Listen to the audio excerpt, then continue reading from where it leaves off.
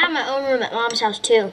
My dad doesn't. His stuff's in the garage. you know I'll play Vampire Hunter because I just got it. No, sorry. You gotta chop off their heads, otherwise they'll keep coming at you.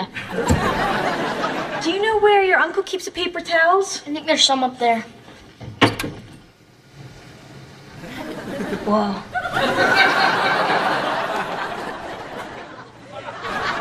Whoa.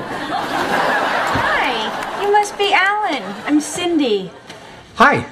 Uh, hey, uh, Jake, it's, uh, it's time to get dressed. Wait a minute. Can you get me a bowl from that top shelf? Let's go. Let's go.